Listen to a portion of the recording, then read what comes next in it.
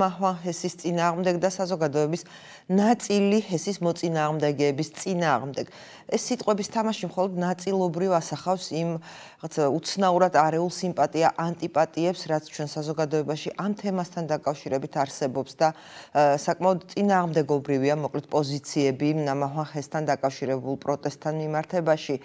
ვინ დგას ამ პროტესტის უკან და ვინ დგას საერთოდ ამ პროექტის უკან, ჰესის პროექტის უკან, რომელიც შეუძლებელია ასეთი სახით შემდგარიყო და ასეთი სახით ყოფილიყო, რომ არა ხელისუფლების ლოიალობა და სიმპათია ამ პროექტის ავტორების მიმართ. ფაქტია, რომ ნამახვან ჰესის მოწინააღმდეგეთა პროტესტმა ორი დღის მანძილზე თბილისში ძალიან დიდი ყურადღება მიიქცია და სხვა ყველა პოლიტიკურ თემა გადაფარა მათ შორის მაგალითად პარლამენტის დღევანდელი სხდომა რომელზეც ოპოზიციამ და ხელისუფლებამ შარლ მიშელის დოკუმენტის შესრულებაზე მუშაობა დაიწყო და განაგრძო და მაგალითად მიიღო საარჩევნო კოდექსში ცვლილებები პირველი მოსმენით ამნისტიის პროექტი კი რამდენიმე დღით გადადო იმისათვის რომ შეთანხმება იქნას მიღწეული. მოკლედ, ნამახვა ჰესის პროტესტის ავტორები, ანუ რიონის ხეობის მსველები, რიონის ხეობაში ინაცვლებენ ისინი ხვალ თბილისში ბოლო აქციას გამართავენ 4 საათზე აღლუმის შემდეგ ისინი ხელს არ შეუშლიან აღლუმს და ისინი აპირებენ ჩაკეტონ ხეობა. რა არის ეს პროტესტი, რატომ ჩნდება ამდენი კითხვები მის მიმართ? ამაზე ვისაუბრებ დღევანდელ გადაცემაში, თუმცა პოლიტიკურ პროცესებს ვისაუბრებ პოლიტიკოსებთან ერთად, გადაცემას ვიწყებთ გია ხუხაშვილთან საუბრით, ბატონო გია. მოგესალმებით, მადლობა გადაცემაში მონაწილეობისთვის. როგორ აფასებთ იმას, რაც ამ ორი დღის განმავლობაში მოხდა? შეიძლება ითქვას პრინციპში, რომ ამ თემამ გადაფარა სხვა თემები. თქვენზე რა შთაბეჭდილება დატოვა ამ პროტესტმა? მოკლედ გითხარით და მე დაგისვათ უკვე სხვადასხვა შეკითხვებს. ხო, ну, მოხდა ის, რაც ალბათ უნდა მოხდარიყო.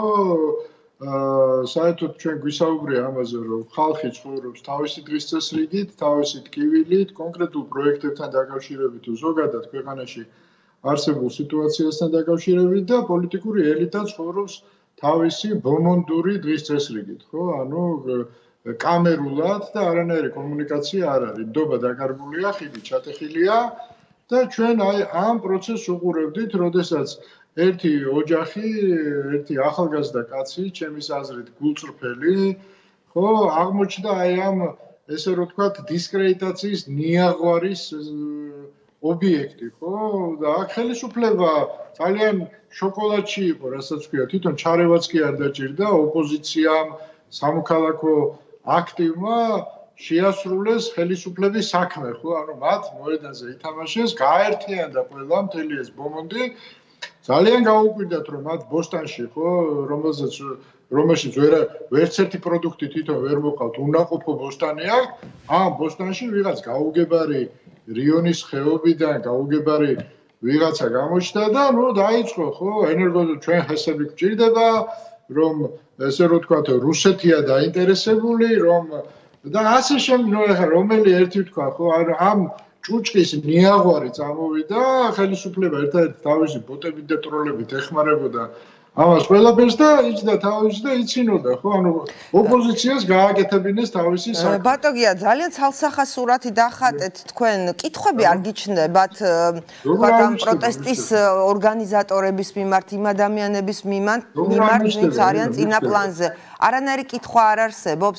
ვარლამ გოლეთიანი ერთის მხრივ იწოს ძალიან დადებით ემოციებს, სიმპათიური ახალგაზრდა, ვიცით რომ ბევრს ის მიაჩნია რაღაცა გმირად და ღვთისგან მოვლენილ მშველელად, თუმცა არსებობს კითხვებიც და მას ზოგი თulis პოლიტიკურ პროექტად, რომელიც შესაძლოა კითხვები მიჩნდება. კითხვები მიჩნდება. რა კითხვები გიჩნდებათ თქვენ მაშინ გითხრათ? ყველა ყველა კითხვა არის ლეგიტიმური. ნუ ჯერესეთი დავიწყოთ იქიდან რომ თვითონ მე მაინტერესებს ამ პროექტთან დაკავშირებით ორი ძირითადი საკითხი. ხო, ეხლა ის ბევრი მოთხოვნა რას მე არ ვეთანხმები, ხო, იგივე რომ ქართული მიწის გაყიდვა არ შეიძლება და ამ შემდეგ, ხო? ეხლა თუ ინვესტორი რამეს აშენებს ისეც, რაც ქვეყნისთვის არის სასარგებლო, მიწა მას რომ გადაეცეს, მე ამაში პრობლემას ვერ ხედავ. რა თქმა უნდა, იმ დათქმით, რომ იქ იმის გარდა სხვა საქმიანობას არ განახორციელებს, გაჩეფას არ დაიწყებს, მაგრამ ძიაღისეულის მოპოვ თუ ეს ისთვის ჭირდება ეს მიწა და ეს არის დასაბუთებული, კი ბატონო, ხო? არ ვითახმები ასევე რომ ნაციონალური ნიშნით ხდება ესე რომ თქვა სტიგმირება, ხო? ბევრი რაღაცაა რა, არ ვითახმები. კითხვები რა თქმა უნდა არსებობს და კითხვები უნდა დაიშვას კოლექტივის მიერ. იგი აი დაფინანსებასთან დაკავ დაუშვან ეს კითხვები. მე არა ვარ ამის ძინავდი. მაგრამ შე პრიორიტეტები ხო უნდა არსებობდეს, ბიჭო. ბევრად უფრო ძიმე კითხვები არსებობს ამ პროექტთან დაკავშირებით ხელისუფლების მიმართ. და საზოგადოება, ოპოზიცია, როდესაც ხელისუფლებას არ უშავს არანაირ კითხვას და პლაკატურად ლაპარაკობს თემებზე, რის საერთოდ აზრი არ არის, ხო, ერგო დამოუკიდებლობა, ენერგო უსაფრთხოება, რუსეთია, იმიტომ რომ რუსეთს არ უნდა რომ ისები აშენდეს საქართველოში. ხო, მაშინ როდესაც რუსეთი არ არის მონოპოლისტი მოწოდებაზე, მეცაც გეტყვით, ხო? ყველაზე მსხვილი მოწოდებელი აზერბაიჯანია, თურქეთი და რუსეთი, დივერსიფიცირებულია. ანუ ჩვენ ენერგო ესე რომ ვთქვათ, უსაფრთხოების პრობლემა დღეს არ აქვს, დივერსიფიცირებული გვაქვს იმპორტი, მაგრამ გვაქვს ენერგო დამოუკიდებლობის პრობლემა. შესაბამისად, ესები უნდა შენდებოდეს ქვეყანაში, რა თქმა უნდა. მაგრამ არა იმ ტიპის კონტრაქტი, ჩემის აზრით, ჩემს შევამბობ. რა კონტრაქტიც არის გაფორმებული, სადაც არსებობს კითხვები, ჩნდება ბუნებრივად კითხვები კორუფციულ გარიგებასთან დაკავშირებით და იცით რატომ? იმპორტი ყველაზე ძვირი, იცით რა არის საქართველოში? 5 ცენტი. 5 ცენტი, 3 ცენტად ხედულობთ, 4 ცენტად ხედულობთ, 5 ცენტად, რის წინამდე არიან ეს აი ეს ბომონდი ჩვენი, ხო? არ უჩნდებათ კითხვა? კი ბატონო ბატონგია უნდა დაძდეს ავაზე უფრო ძვირი რაღაცნაირად ხსნის ამას კომპანია ენკა მე ვუსმინე მათ წავიკითხე რაღაცები მათ ანუ ისინი ამბობენ რომ ეს ბალანსდება სეზონურად და ჯამში უფრო ნაკლები გამოდის წლიურად ვიდრე ჯამურად ვიდრე ხუთი თეთრი არ ვიცი ხა ეს რამდენად დამაჯერებელია ეს ახსნა მაგრამ ტარიფი მათ ტარიფი აქ დამტკიცებული 6.2 თეთრი ხო ეხლა სეზონურად ბალანსდება, ეხლა ეს აჭამონ ვიღაცას რა. გასაგებია რომ თქვენ ეხლა ჟურნალისტები ვერ ერკვევით ამ საკითხებში 1000 რაღაცა 1000 ზღაპარს მოგიყვებიან. კი ბატონო, მე არაფერს არ ვამტკიცებ. ბატონო გია. რადგან არის ეჭვი, ხო ამაზე არის კომპეტენტური პასუხები გასაცემი. გარდა ამისა, უსაფრთხოებასთან დაკავშირებით ქვეყანი ხალხო თუ არანაირი პრობლემა არ არის და ყველა დოკუმენტაცია წესრიგში აქვს, რატომ დანიშნა სახელმწიფომ დამატებითი ექსპერტიზა? აი რატომ? ხო თუ ყველაფერი წესრიგში არის და ძალიან კარგად არის ყველაფერი რატომ დანიშნა? არის იქ პრობლემები უსაფრთხოებასთან დაკავშირებით? ბატონგია კითხებს იწევდა ისიც რომ თავად ეს ხეობის მცველები და თუნდაც ვარლამ გოლეთიანი არ იყვნენ კრიტიკულები ხელისუფლების მიმართ. ან ისინი მათ მთელი აქცენტი გადაქონდათ კომპანია ენკაზე და არა ხელისუფლებაზე, ხო? არა, ნუ ეხა არა არა დღეს დღეს შეიცვალა რაღაცეები, აი დღეს გავიგეთ უკვე კრიტიკა ხელისუფლების მიმართ. Ну თურნა თურნავას თუ ჩავთვლით ხელისუფლების სახეთ არ ვიცი კი ბატონო შეიძლება თურნავას გადადგომას მოიქცა მე არ მესმის რომ მათ პრეტენზიები ქონდათ ენკასთან. პირიქით ისინი ამბობდნენ რომ ენკასთან საერთოდ საქმე არ აქვს კეცო საერთოდ ენკასთან კომუნიკაციაზე უარს აცხადებდა პირველივე დღიდან ეს ხალხი. იმიტომ რომ მათ პრეტენზიები აქვს ხელისუფლებასთან ხელისუფლებისგან თან ითხოვენ დიალოგს. ენკასთან ლაპარაკი საერთოდ არ უნდა. ენკა არ მიაჩნიათ მხარებ და სწორიც არის რატომ? იმიტომ რომ უსაფრთხოებაზეც და კორუფციაზეც ხელისუფლება პასუხისგებელი ეხა ვინ გადაიხადა ქთამი ის არის საინტერესო თუ ვინ აიღო ეს ქთამი ის არის დღეს ალბათ ალბათ ნახეთ კონტრაქტი რომელიც დღეს გამოქვეყნდა მთისამბებმა მოიპოვა ეს კონტრაქტი კი არა უკაცრავად შეფასება კონტრაქტის შეფასება იუსტიციის სამინისტროს მხრიდან.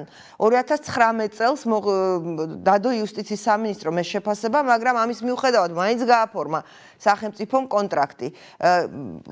ალბათ გადახედეთ, ხო? აქ საუბარია ნუ რა ზიცით, მე დეტალებში ვერ შევალ რა. არა, აქ მოკლედ მოკლედ რა რაღაცა გათვალისწინებულია კონტრაქტში, ეხა მე აქ დავიწყებ ამას. პირიქით, ძალიან კრიტიკულია იუსტიციის სამინისტროს დასკვნა. ამის თქმა მინდა და იქ საუბარია იმაზე, რომ ეს კონტრაქტი მთლიანად ინვესტორის სასარგებლოდ არის და სახელმწიფოს აკისრებს ბევრ ისეთ ვალდებულებას, რომელიც რომლის ანუ ეხა გეტყვით, გეტყვით მაგაზე. ანუ საეჭოა ეს კონტრაქტი. არის არის წარმოუდგენელი ხო? მე მაგაზე ისეაც უნდა მეთქვა ხო ამ დასკვნის გარეშეც. იმიტომ რომ გაცემულია სახელმწიფო გარანტიები ფაქტიურად მინო. კი ბატონო ამაზეც არის სახელმწიფო გარანტია ისეთ რას ნიშნავს. აი მე და თქვენ ეს ამ კონტრაქტზე რომ მოგვიწირო მოგვიწეროს ხელი ვინმე ხელისუფლებამ ხო? ამ კონტრაქტით შეგვიძლია წავიდეთ ნებისმიერ ფინანსურ ინსტიტუტში ევროპაში და ფულს მოგცემენ. ანუ ეკა თავისას კაპიქს არ ხარჯავს როდესაც ჩვენ ახლა გვეუბნებიან რომ ინვესტორი ამხელა ინვესტორი მოდის საერთოდ რისკები აქვს ნოლი. ნოლი აქვს რისკები. ესეთი კონტრაქტი შეეძლო ნებისმიერ მოქალაქეს აეღო, უკაპიკო მოქალაქეს და მიეღო ის 800 მილიონი როა ეს კიდე საკითხავია 800 მილიონია თუ ამ 800 მილიონში ჩიდევს ზუსტად ის კორუფციული ელემენტი რაც მე ტარიფში აისახა ეს კიდე ცალკე თემაა მაგრამ ფაქტი ერთი რამეა ხო ამ ტიპის გარანტიების გაცემა ეს არის დანაშაული. ზუსტად ამაზეა ბატონგია საუბარი რომ აი იუსტიციის სამინისტრომ უთხრა მაშინ თავრობას რომ გააკრიტიკა ხელისუფლება რომ თავრობის ვალდებულება მოკლედ ჩადებულია რომ ფორს მაჟორის შემთხვევაში თავრობა უნდა ზღაურებს ზიანს კომპანიას და სანაცვლოდ არაფერი კომპანიას არაფერი არ ეკისრება არასოდეს. არაფერი არ ეკისრება თუ რაღაცა რაღაცის გამო ჩაიშალა კონტრაქტი ამ შემთხვევაში. კონტრაქტის გაწყვეტაზეც ყველაფერზე ხელისუფლებას ეკისრება პასუხისგებლობა მაგრამ მაინც გაფორმდება ეს ეს არის სახელმწიფო გარანტიები. მე სახელმწიფო გარანტიები თქვათ არ არ არ არ გიხსენე. ანუ სახელმწიფო აძლევს კომპანიას გარანტიას რომ ნებისმიერ ზარალს დაუშვათ და პასუხისგებლობას იღებს, რომ ეს კომპანია მიიღებს მილიარდ ნახევარ შემოსავალს წლების განმავლობაში ამ 6 ცენტიანი ტარიფით მილიარდ ნახევარს პირობითად ვამბობ რა. და ეს მე ჩვენ მიდივართ ამ კონტრაქტით ნები ნებისმიერ ევროპულ ბანკში და ვეუბნებით აი მე მაქვს კონტრაქტი მილიარდ ნახევარზე მაქვს სახელმწიფო გარანტიები მომეცი 800 მილიონი იმ 800 მილიონიდან 100 მილიონს ვიღაცას ქთამს გადაუხდი, ვარ შოკილი 100 მილიონს მე მოვიპარავ, რეალურად დავხარჯავ 600 მილიონს და მე მილიარდ ნახევარი მოდის და მოედინება რა. ბატონგია, რასთან შეიძლება გქონდეს საქმე? იუსტიციის სამინისტრომ 2019 წლის მარტში უთხრა მთავრობას, რომ აი ეს კონტრაქტი არის ძალიან ცუდი და მხოლოდ შენზე შენ გაკვალდებულებები და ინვესტორს არანაირი პრაქტიკულად, ხო? მაინც გააფორმა მთავრობამ. აქ კორუფციული გარიგების თქვენ უკვე თქვით ეს მაგრამ მაინც რაღაცას რომ უფრო დავაკონკრეტოთ შეიძლება რომ როგორ დავიწყებ? ხო ჩემთვის ჩემთვის პირადად მივიღოთ იმისა რომ ხელისუფლება ვერ ისარგებლებს უდანაშაულობის პრეზუმფციით მე მაინც არ მივცემ ჩემთან სუფლებას რომ დავაბრალო. მაგრამ კითხვა ხო არსებობს ლეგიტიმური რომ რატომ გაიცა სახელმწიფო გარანტიები კერძო კომპანიაზე? რატომ გაიცა, როდესაც კანონით ეს არის აკრძალული? მე თქვია, რომ პირდაპირ ეს სახელმწიფო გარანტია არ წერია იქ, მაგრამ კონტრაქტის ესე რომ თქვა, სულის კვეთება არის აგებული სახელმწიფო გარანტიაზე. ეს არის დანაშაული. აი ნახეთ ახლა რა ხდება. და თუ გონიათ რომ არ არის დანაშაული, გამოვიდნენ და აი ამ კითხვებზე გასცემ პასუხი. ნახეთ ახლა რა ხდება. ისე წავიდა საქმე, რომ აი მაგალითად ის ადამიანები, ვინც არ არიან ზოგადად ჰესების მოწინააღმდეგეები, ზოგადად მაგალითად მე კრიტიკულად უყურებ ამ კონტრაქტს და მაინტერესებს რაღაცები, მაგრამ მე გამოდიხარ ჰესის მოწინააღმდეგე. თუ შენ ამ კონტრაქტის მიმართ სვამ კითხვა. საქმე რაში არ გამოდიხარ, მაგრამ გამოყავხარ. რატომ? იმიტომ რომ იწყება კამპანია, ხო? ეს ხო კამპანიურ ხასიათს ატარებს. ეხლა ყველა არ არის ვალდებული რომ იცოდეს რომ რას ნიშნავს ენერგო დამოუკიდებლობა. ან იცოდეს ის რომ ჩვენ ჩვენ ჩვენთან ძირითადი იმპორტიორი რუსეთი კი არ არის სხვა ქვეყნებია, ხო? სომხეთიდან შეგვიძლია სხვა შორის მივიღოთ და არანაირი პრობლემა. ჩვენ შეგვიძლია დღესვე გავაჩეროთ რუსეთიდან იმპორტი და არანაირი პრობლემა არ გვექნება რა. მაგრამ ხალხმა ეს რო არ იცის, აგორებენ ამ თემას. მე ამ ვარლამ გოლეთიანს მარტო ეს ესე კი არ შეტენეს ეხა ბოდიში ამ შტყისთვის ხო? 4 მილიარდი 80 და რაღაც ხესიაო გაჩერებულიო და თუ რამე არაშენებულა ამ ქვეყანაში ყველაფერი გოლეთიას დააბრალეს. ეხა შენ მითხარი ეს კამპანია არ არის? არ ვიცი, კამპანია შეიძლება ყველა ყველა მხრიდან იყოს რაღაცა ტიპის კამპანიის ნიშნები, თუმცა ძალიან აირია სიმპათია, ანტიპათიები და პოზიციები. ანუ რის თქმა მინდა, ოპოზიცია, რომელიც მაგალითად უნდა მოითხოვდეს ხელისუფლებისგან, რომ ეს კონტრაქტი გაასაჯაროს, პირობები შეცვალოს სახელმწიფოსთვის, სახელმწიფოსთვის სასარგებლო პირობები ჩადოს. საერთოდ გააკეთა ფრაქცია. ეხა ფრაქცია გააკეთა ბოდიში რომ შეგეწყვეტინე, ფრაქცია გააკეთა პარლამენტში. გამოითხოვონ დოკუმენტაცია ამ კონტრაქტთან დაკავშირებით. იქ არიან ბიზნესმენები, რომლებსაც რომლებსაც ძალიან კარგად იციან და როგორც კი წაიკითხავენ, მიხვდებიან ყველა ყველაფერს, სად ვისი რა ატკატია რა ჩადებული.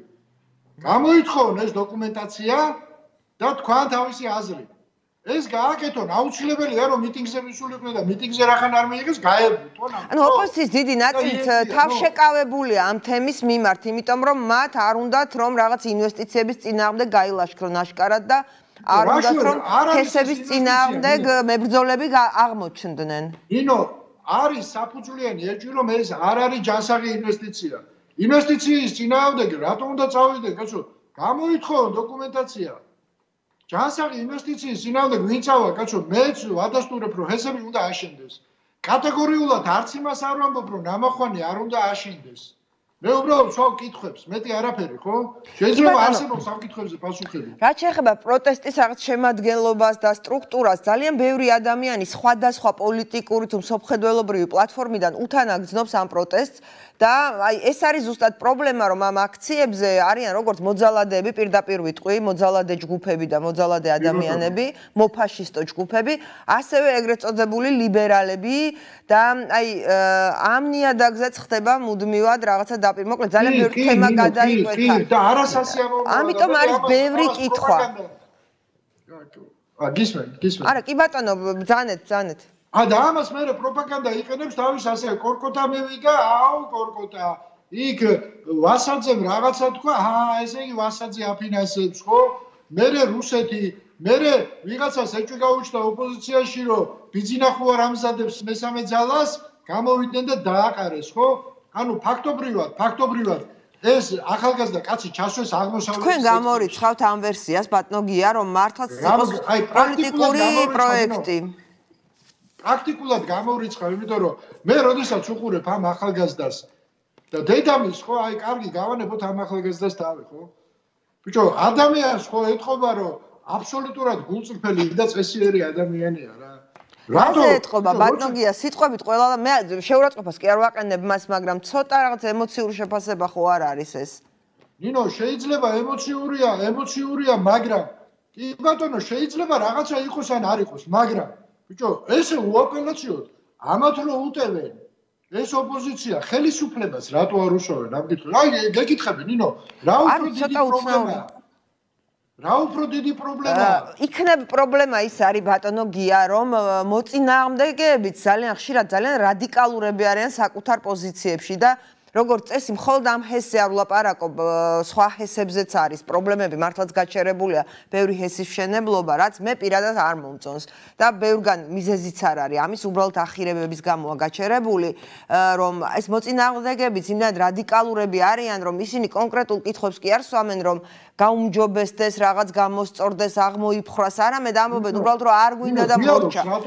იქნება ამიტოა შეუძლებელი ამ ხალხთან ლაპარაკი და იქნება ამიტო იწევენ ისინი აი ესეთ პოზიციას რაღაცა უკუ რეაქციას საზოგადოების და პოლიტიკოსების ნაწილში. ჩვენ რისთვის რისთვის ქირავთ ხო ხელისუფლება?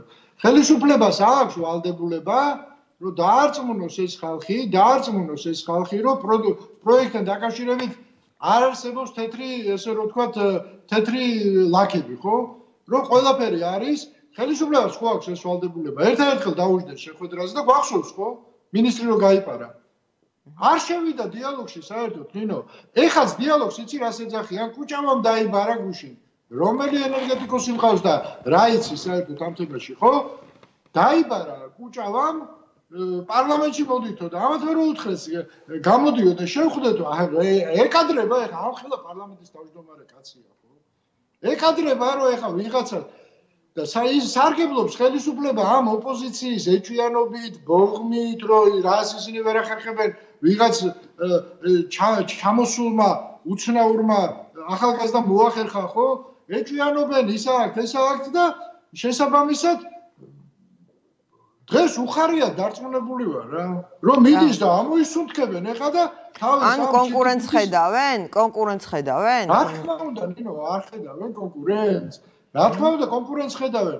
ეჭვიანობენ. ფულს ფულს რატო არ ყვევენ? იმიტომ რომ თვითონ ფული ვერ წარმოუდგენიათ პოლიტიკის კეთება ფულის გარეშე. ფაქტია რომ ფული არსებობს, ფაქტია რომ რაღაცა ტიპის დაფინანსება არსებობს.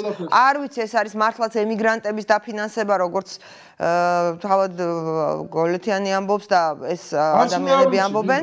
თუ არის კიდევ რაიმე სხვა ფული და ძალიან ჩეკები წარმოგიდგენია. დაიძაბა ბევრი იმის გამო, რომ ლევან ვასაძე არის ამ პროტესტის თანამგრძნობი, რომელიც რაღაცა ოდიოზური ფიგურაა, ხო, პოლიტიკაში. კი, ნინო, მაგრამ ნუ ეხლა რადგან ვიღაც ეხლა აი წარმოუდგენელი ისეთ ლოგიკურ ჯაჭვებს ვაკეთებთ ნინო რა, რომ აი უბრალოდ მეწოდება რა ეს ხალხი რა, ეხლა მე ეს გავლილი მაქვს ყველაფერი და კარგად ვიცი რა. როგორ შეიძლება რომ რადგან იმან რაღაცა თქვა დადებითი ესე იგი იმის კაცი ხარ, თუ ამა თქვა აი ამაზეა ყველაფერი აგებული ხო? ბიზნეს პროექტზე რამდენი ფიქრობს დღესაც? დღესაც რომ ბიზნეს პროექტია, ხო ხო ფიქრობენ ამაზე. საპატრიარქოს პროექტი როა, ანუ 1000 ურთიერთ გამომრიცხავი აი ეს აჯაფსანდალი კეთდება და მოდის ეს ნიაღვარი რა. თქვენ როგორ წარმოგიდგენიათ? შეიძლება არის რაღაცა მე არ ვიცი მე თავს ვერავისო ვერ დავდებ საერთოდ არ ვიცნობ კაცო ანგოლეთიანი თვალით არ მინახავს ხო? თუმცა სიმპათიები გაქვთ აშკარად არ მალავთ ამ სიმპათიებს არ ვიფიქრიათ რომ შეიძლება იმედგაცრუება აღმოგაჩნდეთ მომავალში ბატონო? უსამართლობის იმიტომ რომ იმიტომ რომ უსაფუძვლოდ უსამართლოდ უსამართლოდ მიდის ნიაღვარი. ნიაღვარი რატომ? იმიტომ რომ ეს ჩვენი ბომონდი თulis რომ მათი ბოსტანია და მათ ბოსტანში არა არავინ არ გაბედოს და არ გაჭაჭანდეს. თორე გალანძღავენ, გათათხავენ და ყველა თვითონ არაფრის უნარი არა აქვს რა. და სხვისი შეშვებაც არ უნდა. ბატონგია, რომ სამართლებაზეა ლაპარაკი. მე მას თანაუგრძნობ, განა იმიტომ რომ რაღაცა კონტო კავშირი არანაირი. არანაირი სპეციალურად მე მქონდა იმის საშუალება რომ დავლაპარაკებოდი ხო და ძალიან მაინტერესებს იმდენად ამ ახალგაზრდის არა რამდენადაც დედამისის გაჩნობა. მაგრამ იცი რატო არ მივედი? იმიტომ რომ მე ეს ლაპარაკები არ დაწყებულიყო და შეთქმულ ახალი შეთქმულების თეორიები არ განავითარებინა ვიღაცას. ბატონო როგორ როგორ წარმოგიდგენიათ ამ სიტუაციის განვითარება ხო? რაღაცა ერთის ხრივ დემონიზება ამ პროტესტის მონაწილეების, მეორეს ხრივ რაღაცნაირად გაღმერთება ამ პერსონის, რომელიც მართლაც რაღაცა სერიალის გმირს გავს და ასევე დედამისიც კი ნამდვილად სიმპათიური ხალია. უდაოდ, კარგი ადამიანია, თუმცა ხო, არ ვიცი ამ შემთხვევაში ეს რა შუაშია, მაგრამ მაინც როგორ წარმოგიდგენიათ ამ სიტუაციის განვითარება? ნუ რთულად იცით ეხა რესურსები არის ეხა ხო წარმოგიდგენი 100 100-ით ერთია რესურსები ხო? ამ ადამიანებს არაფერი არ აქვს რეალურად ხო? ანუ ხელისუფლება მათ დაღლას ელოდება უბრალოდ თუ რა რა საკეთებს ხელისუფლება ხელისუფლება. დაღლას ელოდება საზოგადოებრივი აზრის შექმნას ელოდებოდა და ოპოზიცია და ყველა მათ მხარეს დადგა და ეხა ხელისუფლება თლა შოკოლადში გზნობს თავს ხო და ეხა უკვე რა კუნთები მეტი აქვს და ეხა დაგიგმავს როგორ როგორ გაანადგუროს და მოერიოს მაგრამ ეს რთული პროცესია ნინო. იმიტომ რომ თუ აი დაუშვათ ხო? თუ დაუშვათ რომ ეს არის გულწრფელი პროტესტი ეს ადამიანები ცდებიან თუ არ ცდებიან ფიქრობენ. ფიქრობენ რომ მათ სასწორზე დევს მათი წინაპრების ძვლები მათი წარსული ისტორია მათი მომავალი შვილების, ხო? კი ბატონო, ხელისუფლება მოერევა, მაგრამ ესე იცი რა სენსიტიური თემაა? ღმერთმა არქინას მე იქ რამე მოხდეს. მე სადმიდის ეს ხელისუფლება ერთი ძალიან მაინტერესებს, ხო? თუმცა ანტიშიშები საღდება როგორც რაღაცა ფობიებად და მითებად და რეალურად აი კომპანია ენკამ დაიწყო რაღაცა ტიპის საინფორმაციო კამპანია სხვათა შორის გამოჩდნენ უკვე აქტიურად. საინფორმაციო რაც ლეგალური დაიწყო ერთია არალეგალური რაც დაიწყო ის მეორეა კიდე რა. ბატონო? არა ლეგალური რაც დაიწყო გავიგეთ მაგრამ იქ კიდე სად რას იხდია კიდე ღმერთმა უცხის ხო იმიტომ რომ იმდენი ბოდი ტროლი იმდენი იმდენი საზიზღრობა და საშინელება და ტალახი ხო ეს არ ხდება გადახდის garaში რა ანუ კომპანია ენკამ რაღაცა ლობისტური ჯგუფები დაიქირავა და იმით ებრძვის ამ პროცესს. ხო, შენ მაგათ ლობისტებს ეძახი, რომლებიც ყველაფერზე ხელს აწერენ. ხო? ლობისტი? ძალიან ისეთი რა ქვია კულტურული სიტყვა ლობისტი ანუ ტროლი ბოტი მამაძაღლი რა ვიცი თქვენ რას ეძახით ამ ჯგუფებს? რა?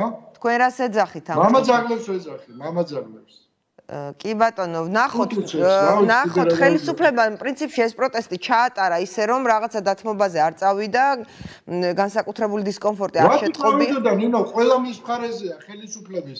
მთელი ოპოზიციაც მის მხარეზე დადგა, სამოქალაქო ელიტაც ისე რომ კონტრაქტი არ წაუკითხავს და დაბეჯითები ჩვენი სახეებით ტელეეკრანებიდან ფესები გჭირდება, ინვესტიციები გჭირდება 4 მილიარდი ვირტუალური 4 მილიარდი შეტენა ჯაფარიძემ იმას ამბავს.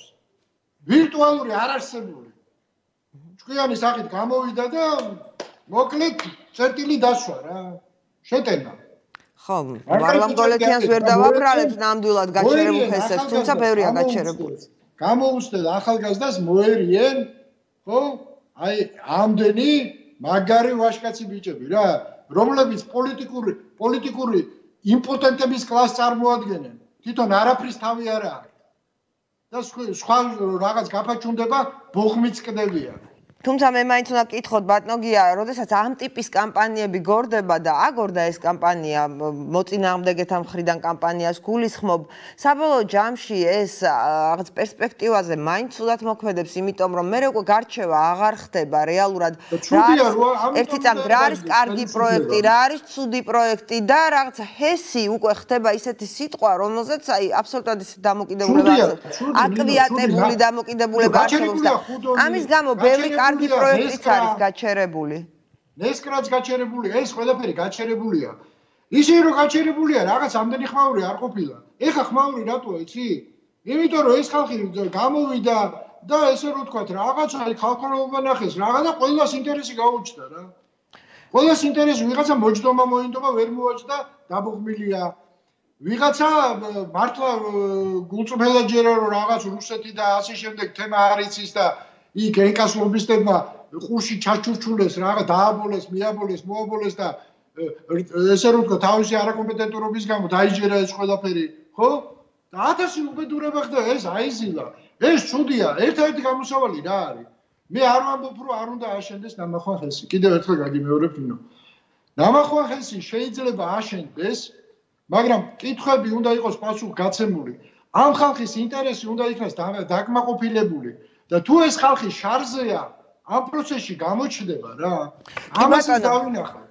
კი ბატონო ბოლოს მინდა კითხოთ პოლიტიკურ პროცესზე რომელიც არ ვიცი შეიძლება მე მაქვს ასეთი აღქმა მაგრამ რაღაცა ძალიან გაჭიანურებული და დუნეა უკვე ხო? აი დღეს ძალიან ვეცადე რომ მეყურებინა პარლამენტის ხდომისთვის რაღაცა ეს გადახვევის რეჟიმში და ცოტა გამიჭირდა განცდა რომ აი ოპოზიციის შესვლის შემდეგ პარლამენტს ცოტა სიცოცხლე შეეტყობოდა იმედი უფრო სწორად მქონდა მაგრამ არ ეტყობა არაფერი პარლამენტს და ნაციონალურ მოძრაობასაც მეტისმეტად გაუჭიანურდა გადაწყვეტილების მიღება ამ პარლამენტში შესვლა არ შესვლასთან დაკავშირებით ანუ რაღაცნაირი სიტუაცია.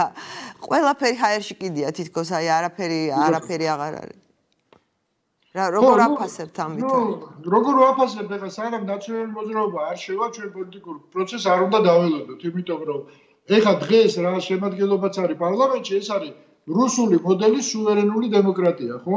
როდესაც არსებობს ერთი დომინანტური პარტია და სამი ფასადური დემოკრატიისთვის, ესე რომ ვთქვათ, ვითომ-ვითომ პარტია. ფაქტიურად ნაციონალური მოძრაობის გარეშე იქო ვითომ-ვითომ პარტიები არიან, იმიტომ რომ მათ მე შეურაცხყოფას კი არ ვაყენებ. პირიქით, ბევრი მეგობარი მყავს იგივე ლელოში და ესე რომ ვთქვათ, პატივს ძალიან ბევრი ადამიანს, მაგრამ მათი შესაძლებლობები არის ძალიან შეზღუდული. პოლიტიკური დინამიკის ნახვა შეიძლება მხოლოდ იმ შემთხვევაში, თუ ნაციონალური მოძრაობა შევა, ხო? და წარმომადგენლობა გაიზრდება და გარკვეული გარკვეული რაღაც ექშენი გაჩნდება. რასაც ქვია და ესენი ნუ ეხა დადიან იქ რაღაც კაუნტრპროექტებზე მუშაობენ, იქ რაღაცას იტყვიან და ამით ყვაყოფილდებიან. ორი თვისი შეპირდე შეგვპირდე ყველას თელ საზოგადო ხალხში გავალთო. ხალხთან ხიდი აქვს ჩატეხილი, ნინო. ხალხში გავალთო, ერთ კვირაში წავალთო. მე წვიმა მოვიდა, ვერ წავიდე. მე კიდე რაღაცა მოხდა, ვერ წავიდე. ორი თვე გავიდა იმის შენ. რამდენი კვირა გავიდა, იცი? ეხა ამ კვირაში ჩვენ წავლენ, იმიტომ რომ აი თუ გაიხედავ წვიმს. ვერ წავლენ, წვიმაში ხوار წავლენ. მე კარგად რომ დაცხება, ზღვაზე წავლენ ბათუმში. ზღვაზე წავლენ, იქ დაისვენებენ. აი ესე იქცევიან. მადლობა ბატონ გია გადაცემაში მონაწილეობისთვის უნდა დავასრულოთ საუბარი. დაუბრუნდებით რეკლამის შემდეგ ვახტანგ მეგრელიშვილი იქნება ჩვენი სტუმარი, რომელმაც დღეს პირველი სიტყვას თქვა პარლამენტის დარბაზში პირველად გამოვიდა სიტყვით და მან კოლეგებს თხოვა რომ თუ რამე ისეთ სიტყვის ისულელეს არ დამცინოთო, პრინციპში არავინ არ დასცინა მას. ვახტანგ მეგრელიშვილი იქნება ჩვენი შემდეგი სტუმარი, მასთან ვისაუბრებთ საპარლამენტო